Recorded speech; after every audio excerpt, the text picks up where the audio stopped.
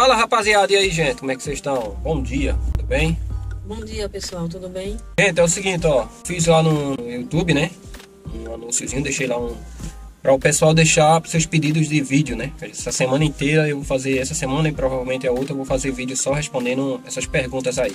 Aí eu tô anotando todas as perguntas aqui, ó. Tem todas aqui. E tem algumas mais que tá com print no celular, né? Então, vamos lá, vamos começar a partir de hoje, né, respondendo esses vídeos aí, já tem bastante aqui. Só aqui no caderno tem 14 ou 15 já, tá? Fora os prints que eu tenho no celular aqui, eu tenho que passar pro caderno aqui. Tá bom? Então, a primeira pergunta foi de um inscrito nosso aí, Avelino Duran, que é um conterrâneo lá de Recife. E ele perguntou o seguinte, ó. Primeiros passos para quem já tem documentos e chegar na Espanha, ou seja, a pessoa já chega com passaporte, com DNI e tal, né? Essas coisas. Então, ele quer saber quais são os primeiros passos, né? E no meu modo de entender, ele quer saber, tipo assim, o que é que muda, tipo, a pessoa que já tem documento para uma pessoa que não tem documento, entendeu? Quais as vantagens, as desvantagens. Então é isso, né? Os primeiros passos. O que muda, muda tudo, né? É, quase tudo. Eu é. acho que no meu ponto de vista é quase tudo. É importante ter o documento, é uma maravilha. A pessoa vir com o documento, você já vem, tipo assim, com aquela liberdade de de poder andar tranquilamente pelas ruas. Não que quem não tem documento não ande, mas quem tem documento anda muito mais tranquilo, né? Tipo, se aparece um trabalho em outro país, tem a liberdade de ir, né? É, na verdade, tem, é, é em dois sentidos, né? Na verdade, tem no sentido da pessoa e tem no sentido de documentado ou não documentado. Porque tudo depende da pessoa. É. Né? Porque eu conheço pessoas aqui que têm o documento porém não, não tem. Não vai para frente, né? É, não tem a coragem. Também, é. né? Não tem a coragem. Então, às vezes diz, ah, eu tenho um documento, mas não tem trabalho. Gente, tem trabalho sim. Tem trabalho. Não vamos dizer que não tem. Agora, se tu quer ficar na tua zona de conforto, não quer sair, não quer buscar, não ir para outra cidade, né? É. E outra coisa, né, que eu acho, na minha opinião, tipo, o lugar onde você tá, né? É. Se você não tem casa própria que vive de, de aluguel, então você tem que ir para o lugar onde tem o quê? Trabalho, né? Quem tem documento, eu acho o seguinte: o documento ele é importante, sim, ele muda muita coisa, mas é como ela falou o seguinte: é, vai da pessoa, né? Tem, tem pessoas que vêm para cá porque acham que tem documento e se acomoda demais, não quer trabalhar, não quer aceitar todo tipo de trabalho, entendeu? E tal. Já tem pessoas que não têm documento que tá super bem aqui, entendeu? Porque baixa a cabeça, é humilde e aceita todo tipo de trabalho. Tem gente que tem profissão no Brasil, vamos lá, o cara é um enfermeiro no Brasil tal, chega aqui porque tem documento, acha que vai ser enfermeiro aqui, não vai ser enfermeiro aqui, entendeu? Tu vai ter que ir pra obra trabalhar do mesmo jeito, tu vai ter que ralar do mesmo jeito. Então, o documento, ele é importante, claro, ele é importante. E outro, né? Mas tem que correr atrás, velho. E outro, né? Muda muito, né? Tipo, um exemplo, deixa eu dizer tua profissão, maquinista no Brasil e maquinista aqui. Então, se você saiu do seu país para vir para cá, para outro país, você que tem que se adaptar. É. Né? Se você não se adaptar, volta. Porque tu maquinista não é. do Brasil é, é muito bom, né? Como é maquinista no Brasil? Eu trabalhava no Brasil, eu sou maquinista e motorista de caminhão, carreta e tudo, muitos anos no Brasil. E tipo, eu quando trabalhava com máquina no Brasil, eu não baixava da máquina pra nada. Véio. Até para lubrificar uma máquina, porque a graxa tinha. da máquina tinha gente, tem gente para isso. Vinha um caminhão que a gente chama de melosa, né? E eles vinham e botavam a graxa na máquina e ficava com os pés para cima ali, ó, dentro da máquina. E quando eles terminavam, eu pegava a minha máquina e, e botava para trabalhar novamente. Aqui, e se agora não tinha trabalho para para fazer tipo uma hora livre, tu ficava o quê? Dentro da eu máquina, Eu já fiquei né? três meses, não foi em casa recebendo. É, já porque não, meses, um, porque não tinha trabalho, não trabalho recebendo. Aqui, aqui você não tem trabalho amanhã, eles já te bota na rua no dia seguinte, eles não te pagam. Entendeu? E outra coisa, aqui tu lubrifica a máquina, tu lava a máquina. Faz tudo. Se não tem trabalho para a máquina, tu tem que ir para ali mexer ma massa, cimento, carregar pedra, ajudar de, de peão, ajudar na obra, né? Um minuto.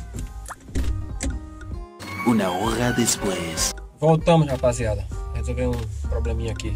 É, a gente tá em Sagunto hoje aqui em Valência, resolver um, questões aí de documentação. Então vamos lá. Como eu ia falando, a questão aí da, da máquina é isso, né? Se você é contratado para uma coisa, você, eu já gravei um vídeo falando sobre isso. Aqui existe desvio de função e você vai ter que fazer outras mil coisas que eles mandarem. Então, Às vezes a pessoa, porque tem um documento, acha que é espanhol e tal, e que não vai fazer isso, eu não vou fazer aquilo, entendeu? E essas são as pessoas que mais se complicam, né?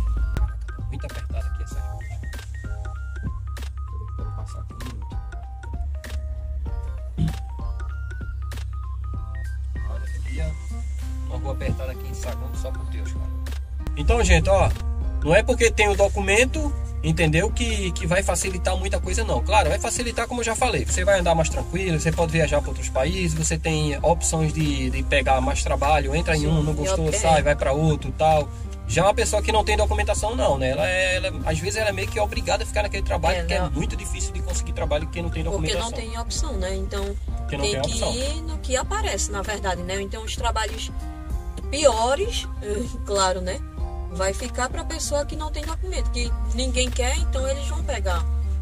Tem que agradecer, que tem, tem que agradecer a Deus é, quando aparece um trabalho. É. Porque que não tem documento, né? Porque é muito difícil.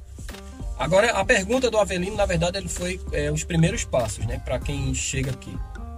É, Avelino, eu acho que os primeiros passos para quem chega aqui é quase que igual a quem não tem né, documentação, né? É, é se empadronar, é buscar uma casa, entendeu? Essa questão de casa também, não é porque a pessoa tem uma documentação que vai facilitar muito a casa, não. Facilita um pouquinho, porque quando a gente vai alugar uma casa, o que eles querem saber é um contrato de trabalho e as nóminas e um fiador e isso e aquilo, né? Então, facilita um pouquinho porque tu é espanhol, né? Ele sabe que já que tu tem uma documentação, tu tem uma facilidade maior de ter emprego, mas ele, o que ele vai exigir mesmo é um contrato de trabalho. Então. E como você logo chega, não tem contrato de trabalho, né? É, então a então é dificuldade é vai ser quase que a mesma, entendeu? Então alguma é, uma dica, né? Ele pediu, depende. Varia muito também a dica se vem uma pessoa sozinho para cá ou com a família, né? É. Na verdade, né?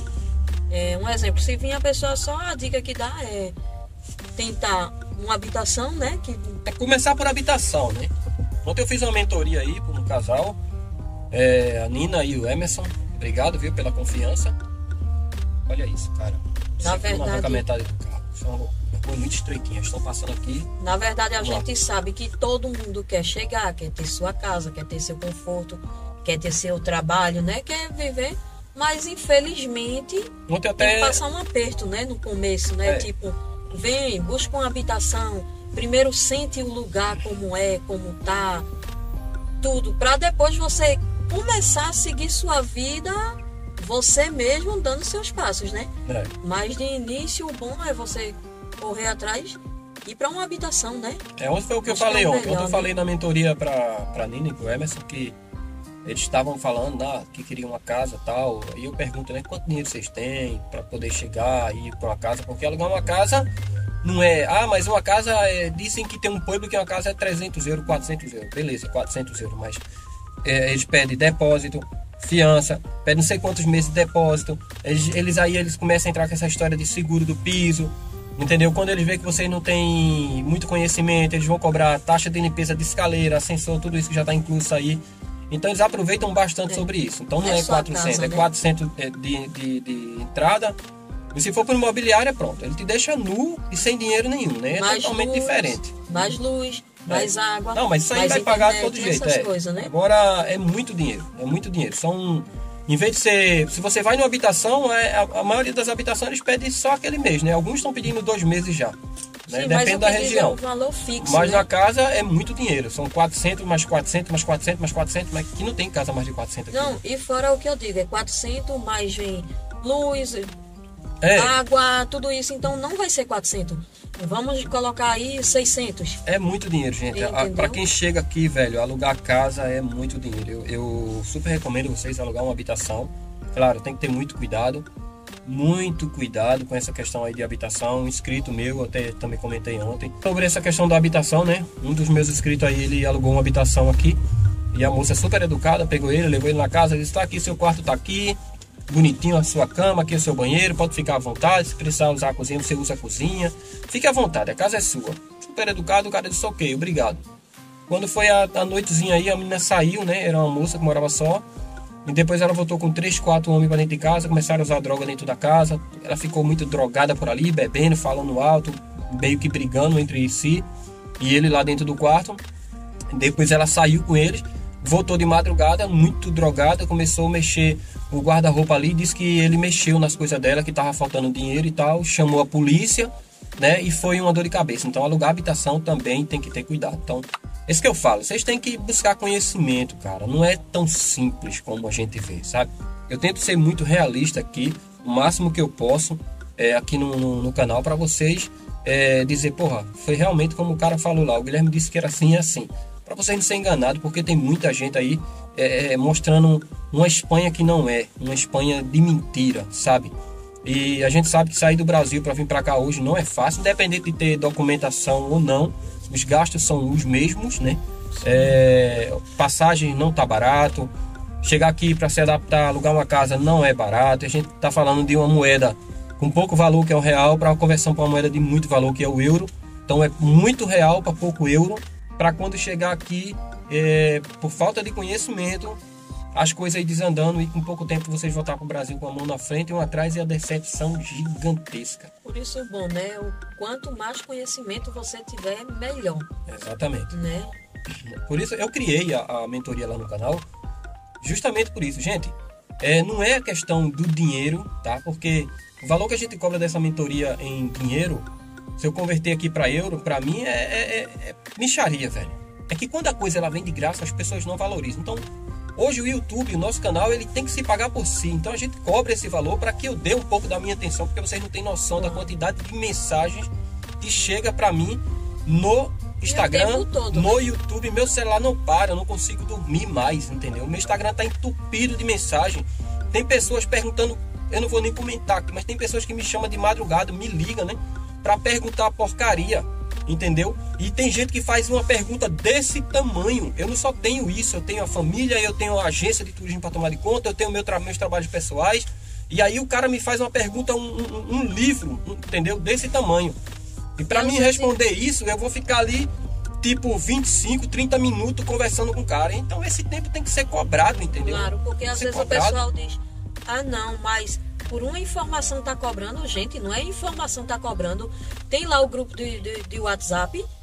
Temos um grupo. Se tem, se tem um grupo, gente, às vezes é, uma curiosidade sua é a curiosidade de outra pessoa. Então, se você fazer, puder fazer a pergunta lá no grupo, faz.